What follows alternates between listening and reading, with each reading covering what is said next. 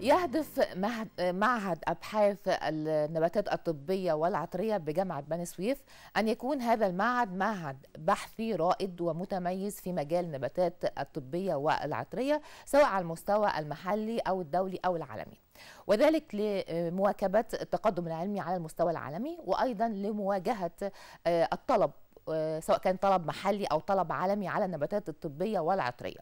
والحقيقة إن هناك العديد من الأنشطة آه، أبحاث ال- النباتات الطبية والعطرية آه، لمواجهة التغيرات المناخية وأيضا في مجال التعاون الدولي. هنعرف الكلام ده كله من خلال لقائنا النهارده مع الدكتور ممتاز حجاب عميد معهد أبحاث النباتات الطبية والعطرية بجامعة بني سويف. صباح الخير يا دكتور. صباح الفل أهلا بك أهلا بحضرتك. آه، عايز أعرف الجديد في ابحاث النب- النباتات الطبية والعطريه. آه، اولا آه، بشكرك لأن المعهد ده هو يعتبر معهد الفريد من نوعه في مصر. آه، إحنا أول جامعة ويمكن كمؤسسة فيها معهد بحثي يعني بالنباتات الطبية والعطرية ويتخصص في هذا الأمر. المعهد بتاعنا معهد بيني أساسه. هو عبارة عن ما بين علماء أو باحثين كلية زراعة وكلية العلوم وكلية الصيدلة. ودي ميزة جديدة إن إحنا بنرسخ لأساس لحاجة اسمها البرامج البينية. آه. اللي هو حتى في البحوث إحنا معهد كله أصلا أساسه دراسات عليا. آه، المعهد ليه كل فيه أربع أقسام علمية بيختص من أول الإنتاج ومعاملات ما بعد الحصاد قسم الكيمياء النباتات الطبيه والعطريه قسم التكنولوجيا الحيوية. لغاية ما نوصل للمرحلة الرابعة إن إحنا نطلع لو طلعنا منتج أو آه، طلعنا مادة معينة من النباتات الطبيه والعطريه هندخل في مرحلة اللي هو التصنيع أو ال- الاستخدامات بقى في المستحضرات الطبية. فعندنا قسم المستحضرات الطبية والدوائية. آه. دي أقسام المعهد. جميل. آه، من أهم ما يميز المعهد برضو إن الحمد لله إن هو لقى رعاية من أول يعني هو الحمد لله قطاع النباتات الطبيه والعطريه في مصر قطاع واعد ومهم مم. جدا آه، سيد رئيس الجامعة الدكتور منصور حسن آه، كان مهتم جدا فعشان كده بدأ تأسيسه والحمد لله تم افتتاحه سنة 2020 آه، بحضور معالي الأستاذ دكتور وزير التعليم العالي والبحث العلمي وده برضو عطى قوة للمعهد إن الحمد لله يعني فيه اهتمام من الدولة بصورة عامة بهذا النوع من المعاهد البحثية المتخصصة. طب رئيس الجامعة الحقيقة يعني آه، آه، أطلع علينا من خلال وسائل الإعلام وقال إن هناك مشروع جديد فيما يخص النباتات الطبية والعطرية. ما هذا المشروع؟ يعني في حدود اللي أقدر أتكلم فيه إن هو مشروع يعتبر مشروع قومي. المشروع ده يعني عبارة عن مدينة للنباتات الطبية والعطرية آه، فيها كذا نوع من الاقتصاد الاقتصاد الزراعي والاقتصاد الصناعي آه، الاقتصاد البيئي والعلاجي آه، حتى الاقتصاد الخدمي. كل نوع من الاقتصاد ده هيخدمه مجموعة من المشاريع. هيبقى عبارة عن عاوز أقول كومبينيشن ما بين مشاريع كتيرة في مصر. والحمد لله المشروع ده يعني تم رفعه إلى القيادة السياسية. وبرضه دي حتة قوية جدا. يمكن دعم القياده السياسية في حاجات كتير هو اللي خلى إن في المشاريع دي تظهر ويبقى ليها القوة والزخم ده. آه. وبنتمنى من الله إن شاء الله يكون قريبا يكون يعني يظهر بعد ما بيتم بعض الدراسات آه، في بيوت خبرة عالمية وكده إن شاء الله. الحقيقة زي ما أنا قلت كده في المقدمة في تعاون دولي وفي تعاون خارجي وتعاون محلي. عايز أعرف التعاون الم- الموجود في مجال النباتات الطبيه والعطرية. ده من الحاجات المهمة الحمد لله برضو إن المعهد يعني ساعده جدا إن دايما كنا بنتكلم إزاي دور المجتمع المدني ودور المستثمرين ورجال الأعمال. الحمد لله المعهد عمل بروتوكول تعاون كان من أوله مع مجموعة الكومي جروب دي أحد المجموعات في الاستثمار الزراعي في مصر.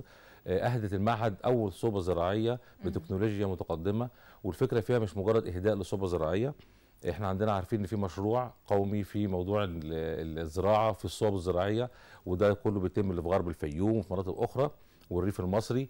إحنا عاملين صوبة بحثية على مستوى تكنولوجيا عالي جدا مدخلين فيه حتى الذكاء الاصطناعي في كاميرات المراقبة للنباتات وغيره. والقصة فيها الفكرة إن إحنا نعلم الباحثين عندنا إزاي يتعاملوا مع هذه التكنولوجيا. فإحنا ماشيين برضو مع استراتيجية الدولة إزاي إن إحنا بنطلع باحث يقدر يتعامل مع هذه التكنولوجيا الجديدة بصورة كويسة زائد الجزء الثاني إن ال- الصوبه نطلع سلالات أو ننمي بعض السلالات اللي تقدر تقاوم التغيرات المناخية. وده إحنا فعلا بدأنا إن إحنا نحصر بعض السلالات البرية اللي ليها مواصفات آه، قوية ضد الإجهادات زي الحرارة آه، زي آه، قلة المية. فده برضه الصوبة قدرت تساعدنا مع وده ده دور كبير للمجتمع المدني وإحنا بنشكر فيه حتى إن رجال الأعمال ينظروا للبحث العلمي إنه أيوة. قيمة وإن هو يبقى قاطرة في الدولة المصرية. الميزة الثانية إن إحنا عندنا برضو المستثمرين أو التعاون الداخلي قدر نفس مجموعه الكومي قدرت تدي بعد ما لقت إن إحنا ماشيين جادين وجامعه بني سويف جادة في هذا الأمر عطتنا 10 منح دراسية ودي كانت ميزة ثانية جميل 10 منح دراسية ممولة للماجستير والدكتوراه في كل ما يخص موضوع النباتات الطبية والعطرية. يعني إحنا بنشوف المشاكل الموجودة في الأرض ونبتدي نعمل لها في منح ومنح ممولة كاملة ودي برضو حاجة قوية جدا في التعاون الداخلي وكان ليه تأثير والحمد لله هيكون تأثير واضح كمان الفترة الجاية. إحنا فين يا دكتور في هذا المجال في العالم؟ يعني إحنا ترتيبنا فين؟ إحنا من المميزين مصر في الاعتبار من الأوائل اللي بتنتج نباتات طبية وعطرية وفي ليها برضو يعني مواصفات في النباتات الطبية العطرية في المحتوى بتاع النبات نفسه. فعندنا الحمد لله إحنا نعتبر محطوطين من من أوائل الدول في هذا الإنتاج ولكن ينقص هذا الموضوع وهذا القطاع بعض المشاكل منها الاستخدام المفرط آه، في المبيدات والحاجات دي كلها والكيماويات بيقلل من المنتج المصري في الخارج. فده جزء الجزء الثاني السلالات آه، ساعات يعني المزارع بيستخدم نفس السلالات الموجودة ممكن تكون السلالات دي مش نقية 100% وفي مشاكل أخرى من التصدير وغيره والتعبئة. والجزء الثاني كمان اللي هو مرحلة إن أنت تستخلص من النباتات دي زيوت أو غيره إحنا ساعات بنوديها مواد خام آه، يمكن أساس المشروع أو الفكر في آه، الدولة بتقوده إن إحنا المواد دي يبتدي تتحلل أو نبتدي نطلع منها آه، مواد تنفع في الأدوية أو المستحضرات الطبية أو التجميل أو غيره أيوة. ليها قيمة مالية واقتصادية أعلى بكتير من اللي بيتم حاليا تمام يمكن زي ما قلنا كده إن في أنشطة آه، بتقوم بها آه، آه، معهد أبحاث النباتات الطبية والعطرية في جامعة بني سويف لمواجهة التغيرات المناخية. وحضرتك طبعا المنسق العام ل لجنة المناخيه في الجامعة. بالظبط. عايز أعرف إيه الأنشطة اللي تمت بالفعل لمواجهة التغيرات المناخية؟ يعني جامعة بني سويف أنا أعتبر برضو إن يعني ده الحمد لله إن كانت من الجامعات الأوائل في هذا الأمر. إن لجنة التغيرات المناخيه دي اتشكلت من آه، يمكن من عام مضى من أول ما مصر دخلت إن في كوب 27 وهنستقبله. قدرنا من اللجنة إن إحنا نجيب علماء من تخصصات مختلفة في جامعة بني سويف. آه، قدرنا ناخد نحصر أفكار كتيرة. في أفكار منها وصلت إنها المستوى ترتقي للدولة. آه، من أهم الحاجات إن إحنا في معهد الليزر عندنا وده معهد متميز ومتفرد في جامعة بني سويف برضو. آه، إن في مشروع لرصد الملوثات البيئية عن طريق استخدام الليزر وده مهم جدا إن الجامعات تبقى ليها دور في إنها تشارك في هذه الأمور وخاصة في موضوع التلوث لأن في مناطق صناعية في بني سويف كبيره فده أحد الحاجات اللي اتعملت. في مشاريع تانية تمت أو بدأنا نشتغل فيها زي استخدام المياه الرمادية أو ال grey water اللي هي بتطلع من غسيل الإيد. واتعمل مشروع prototype آه، جميل جدا. اتعمل كله داخلي. وحاليا يعني بتعكف الجامعة انها بتطبقه في بعض المباني إن المياه دي بتتجمع ويعاد استخدامها بعد تعقيمها وتطهيرها بوسائل معينة. ده بيوفر ميه كتير. المشاريع دي لو قدرت تكبر ده prototype بسيط تقدر تساعد كتير في المية المستخدمة ونقدر نعيد. تدويرها مرة أخرى آه، في مشاريع تختص كمان بال awareness أو التوعية يعني. في كان آه، كتيب اليونسكو طلعه و report ته كان قوي جدا في المدارس. إزاي نعلم ولادنا إيه مشاكل التغيرات المناخية في الاستخدام؟ إزاي إنه عشان يقفل المية أو غيره أو ال- الزراعة الداخلية أو الحصص الداخلية إزاي ممكن ده يأثر كتير استخدام المكيفات غيره غيره وده لأن الحياة التغيرات المناخية إحنا السبب كبني آدمين فيها، آه. إحنا السبب فيها. آه يعني الانبعاثات الكربونيه وثاني أكسيد الكربون. آه، أي نعم إحنا الدول بتاعتنا عشان خاطر الصناعة مش واصلة لمستوى الدول الصناعه الكبرى ولكن إحنا برضو بنعاني من هذا الأمر. فكمان إن ال- ال- التوعية دي إحنا في حاليا جامعه بني سويف برضو خدت على طاقة إن هي آه، تقدر تساعد إزاي المدارس تعمل برامج تدريبية في هذا الأمر وتم حتى مخاطبه آه، ما بين الوزراء ال- المعنيين التعليم العالي والتعليم وفعلا ماشيين في هذه الأمور. وفي يمكن حاجات تانية كتير وابحاث علمية تم رصدها. يعني الحمد لله ويمكن اتعرض ده كان في مؤتمر آه، كان مؤتمر قوي جدا في العين السخنة كان برعايه وبحضور وزير التعليم العالي الدكتور محمد أمل عاشور. ودي كانت خطوة كبيرة جدا إن هو جمع كل خبرات الجامعات المصرية في هذا اليومين. قدروا يطلعوا أظن في توصيات كبيرة ومهمة وكلها آه، قابلة للتطبيق في مجال التغيرات المناخية. في حاجات تانية بقى دمها خفيف اللي هي ان هي شكلها دمها خفيف إن إحنا إزاي نستخدم وسائل نقل أخرى زي العجل. يعني إحنا جامعة بني يوسف عملنا كم مبادرة في الموضوع ده بالمناسبة هي يعتبر هي مش إحنا اللي بدأناها يعني لو جينا فكرنا سيادة الرئيس سيادة. الرئيس أول ما يعني لو جينا فكرنا فيها هو أول ما بدأ يركب صحيح. العجل عشان مشكلة العجل في الركوب إن دايما أنا لو جيت أركب عجلة طبعا أكيد هنضرب بالطوب بقى إزاي ركبت عجلة وعميد ومش عارف إيه ورئيس الجامعة ركب عجلة ففعلا خدنا الموضوع ده والناس لبست ترنجات والمحافظة وركبوا العجل لأن عاوزين الأول نشعر إن الموضوع مش محرج. فرئيس رئيس الجمهورية بيركب العجل من أول يوم عشان يقول ده للصحة كويس طبعاً. ده هينفع للتغيرات المناخية. إحنا ما كابش عربيات كان العجل. فالحاجات اللي إحنا بنعتبرها صغيرة دي ممكن تفرق كتير. فكان في تعاون مع المحافظة برضو جامعه بني سويف ويمكن ده, ده اقره رئيس الجمهورية إن الجامعات هي بيوت الخبرة آه، للمحافظات والمؤسسات المصرية. وفعلا في تعاون مع المحافظة في هذا الأمر في مبادرات ال- الخضراء وغيرها والحمد لله يعني الجامعة نحمد الله إن ليها مشاركة كبيرة في هذا الأمر. أكيد طبعا مشاركين في كاب 27 إن شاء الله مشيئه الله آه، إيه اللي ناويين تقدموه في في ما هو هذا ده بقى من التوصيات العامة بتاع وزارة التعليم آه. العالي اللي منها آه، إحنا عملنا أول مركز رصد التغيرات المناخية. المركز ده ميزته إن كل علماء الجامعة في التخصصات المختلفة بيقدروا يساعدوا أي مشكلة للمحافظة أو أي مشكلة لأي مؤسسة.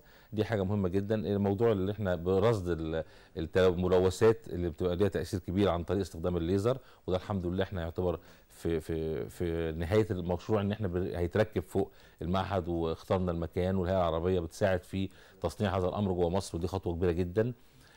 مواضيع داخله في التدريب وفي بحوث علمية منها مشاريع في القنوة وغيرها استخدام ان هي عباره فيها بروتين كتير نباتات أخرى بتستخدم ميه قليلة مشروع المياه الرمادية. فالحمد لله يعني في أمور كتير إن شاء الله هترتقي إن في الجامعات التانية برضو مقدمة حاجات جميلة في الذكاء الاصطناعي واستخدامه في هذا الأمر. جميل. فإحنا إن شاء الله يعني مصر يا رب. حضرتك منسق عام للبرامج الجديدة في جامعة بني سويف. عايز أعرف إيه بقى الجديد؟ في جامعه بني سويف عموما بشكل عام. جامعه بني سويف الحمد لله نحمد الله إن في البرامج الجديدة والبينية وكلمه البينيه دي مهمة يعني إحنا وصلنا ل 45 برنامج من أربع سنين كانوا 13 برنامج بس. البرامج البينيه دي برامج آه، بيبقى ليها مواصفات آه، مختلفة في تركيبة البرنامج نفسه. يعني جامعه بني سويف مثلا تتميز إن فيها برامج مش موجودة آه، في الجامعات المصرية بطبيعة إن إحنا عندنا مثلا كلية علوم الفضاء والملاحه عندنا برنامج تكنولوجيا الفضاء والملاحه ده برنامج متفرد على مستوى الجامعات المصرية. عندنا برنامج الميكروبيولوجيا الكيمياء الحيوية ده عبارة عن اثنين بكالوريوس في بعض في كلية العلوم آه، برامج الجيولوجيا والتعديل في برامج حتى في التخصصات الأدبية ده, ميزه آه، نوعية زي مثلا علم النفس الكلينيكي ده حاجة بتربط ما بين. الطب وما بين علم آه. النفس فالحته البين خلاص فكر إن عندنا الطبية ما بين الطب والذكاء الاصطناعي وبمناسبة موضوع الذكاء الاصطناعي ده يعني جامعه بني سويف كانت من الناس اللي, خدت قاطرة هذا الأمر إذا كانت من إنشاء أول معمل ذكاء اصطناعي آه، أول تعاون دولي على مستوى مصر مع أكبر معهد في أمريكا اسمه ساس آه، ده مسؤول عن التنقيب في البيانات وال remote sense ومعظم أدوات الذكاء الاصطناعي هو بيشتغل فيها وعندنا طلبة الحمد لله اتخرجوا وخدوا certificate من الساس دوليا جميل. وكل ده اتعمل free bill يعني ده كل ده كان مدفوع الدورة بتكلف آلاف الدولارات. فده الجامعة دايما عينيها على ما هو جديد وما هو يهم الدولة وما هو يهم الطالب في بناء قدراته ودي حاجة مميزة يعني. إيه- إيه- يعني ه- ده هيخليني أسأل حضرتك إزاي بتعملوا بقى لصقل آه، مهارات الطلاب علشان طبعا يواجهوا سوق العمل؟ الموضوع ده يمكن في جهات كتير بدأت تدخل فيه مع الجامعات يمكن اخره هاجي من الآخر بقى. آه، في مبادره الشباب من أجل التنمية برعاية وزارة التخطيط والتنميه الاقتصادية آه، مع الوزيره الدكتوره هاله السعيد ومع وزير التعليم العالي ومجلس اعلى الجامعات. كان في خطوة كبيرة إن أول مبادرة تنطلق السنة دي في سماء مصر بدات بخمس جامعات واختاروا بني سويف عشان حضرتك قلت لي دلوقتي ده هقول لك الأسباب منها. آه، إن إحنا إزاي نكون مجموعات طلابية من كليات وتخصصات مختلفة يفكروا في مشاريع إذا كانت مشاريع تنموية آه، أو مشاريع آه، ممكن تطبيقها أهم أساس الموضوع. أو ورق سياسات يتوجه للوزارات عشان نحل مشاكل بيها شايفينها في الإدارة أو غيره. بفضل الله جامعة بني سويف حصلت على المركز الثاني على مستوى الجامعات المصرية وده. كان في حفلة كبيرة في وجود مع الوزراء المختصين والمعنيين ورؤساء الجامعات.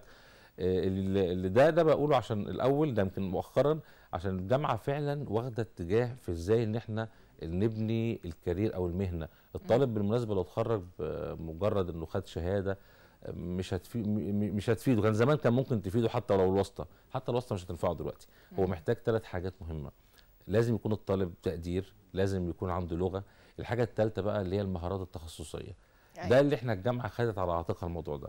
كان من أول حاجة إن إحنا اتفقنا مع هيئات دولية آه، وداخليا زي معهد الاي تي اي بتاع وزارة الاتصالات آه، جهات دولية زي ساس عشان كل طلابنا بيقدموا في برامج الذكاء الاصطناعي. بقى عندنا أي طالب ممكن ياخد هذه البرامج. و free يعني يعني بدون أي أي مصاريف. دي ميزة. عندنا في حاجات كتيرة دخلناها اللي هو في إزاي التوعية للطلاب باللغات المطلوبة. عندنا مركز اللغات والترجمة في دورات على طول مخفضة جدا إنها تساعد الطالب إنه تحافظ على مستوى اللغة بتاعه عشان لما يطلع يقدر يشوف سوق العمل خارجي. الحاجة الأهم كمان إن إحنا زي ما قلت لحضرتك كنا بننتج برا... بنعمل برامج جديدة آه، سوق العمل اللي محتاجها. ما هو البرامج دي كلها عشان خاطر سوق العمل اختلف. طبقا لتقارير ماكنزي الاخيره إن الوظائف اللي جاية مش هي الوظائف اللي من 10 سنين أو 20 سنة. ولا علينا اللي هم بيتعلموها يعني مش هي دي التخصصات اللي عايزينها؟ لا الوظائف اللي موجودة لا. الوظائف هتبقى شكلها مختلف يعني. آه. زي مثلا كلية علوم الإعاقة مثلا. دي من كليات علوم ذوي الاحتياجات خاصه بقت من الكليات المهمة جدا لأن معظم اللي موجود مثلا في أوروبا إن سنهم كبير. فاللي جاي دلوقتي محتاجين إن هو يبقى عارف تمريض وعارف علم نفس طبيب يبقى عارف في علم النفس وعارف في الذكاء الاصطناعي. يعني هتلاقي إن بدأت البرامج تدخل مع بعض. من الحاجات المهمة الثانية إن إحنا في تعاون دولي بنعمله لصالح الطلاب. كان عندنا في منحة لجامعة هيروشيما دي جامعة مصنفة في اليابان. آه، المفروض إن هي كانت ثلاث جامعات مصرية تستفيد بمنحتين. النهارده هم اليابانيين بفضل الله الحمد لله أما بيلاقوا حد جاد إحنا جامعه بني سويف وصلنا ل 22 منحة.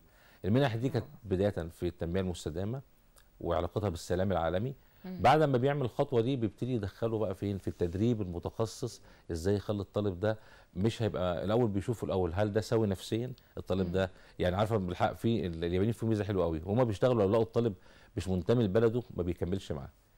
فهم منتمي بيبقى لبلده مش يعني منت- مهم قوي. الموضوع ده. طبعا لأن هو مش منتمي لبلده مش منتمي لحته تانية. صحيح. دي حاجة طبيعية. طب. آه، عندنا طلاب الله أكبر. آه، اعطوهم دلوقتي دورات يابانيه أونلاين. عندي طالبة وطلاب دلوقتي من زراعة وعلوم زي اعاقه وطب وطلاب 22 منحة من منحتين. إحنا النهارده في ناس سافرت اليابان موجودين في اليابان حاليا في هيروشيما. بيحضروا ماجستير ودكتوراه على حساب الد- الدولة اليابانيه وبدأوا كمان يزودوا عدد المنح لأن هم شايفين ال motivation بتاع طلاب جامعة بني سويف.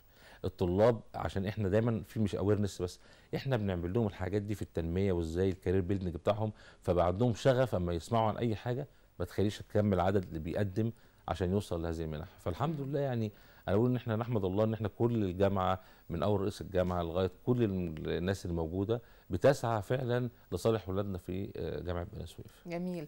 طب حضرتك متمني إيه لمعهد أبحاث آه، النباتات الطبيه والعطريه بما إن حضرتك عميد آه، هذا المعهد تتمنى ليه إيه؟ عايز إيه لجامعة بني سويف بشكل عام؟ آه، أتمنى إن المعهد فعلا ياخد وضعه إن هو يبقى الهب لهذا القطاع. بالمناسبة في علماء في النباتات الطبيه والعطريه موجودين في الجامعات المصرية من قديم الأزل ومراكز البحوث. يعني إحنا هنا مش هنخترع حاجة جديدة ولكن المكان هو يعتبر الهب اللي نتجمع كلنا لصالح هذا القطاع. بدل ما كل واحد بيشتغل لوحده تعال نتجمع عشان نشوف مشاكل القطاع. إذا كانت مشاكل في الزراعة إزاي نطلع المنتجات دي بصورة إن إحنا نصنعها؟ إحنا حاليا بن في تجهيزات طلبناها ومعانا وزير التعليم العالي آه، الدكتور محمد ايمن عاشور الله يكرمه يعني. آه، بيسعى إن كل ده يوفره لنا لأن شايف إن المعهد فعلا واخد الموضوع بجدية. يعني أنا هقول لك على آخر ثلاث حاجات من مميزات التعاون الدولي. آه، هيئة زي هيئة الفولبرايت في مصر. إحنا دلوقتي إن شاء الله هنستخدم أستاذ أمريكي ست أسابيع تقريبا.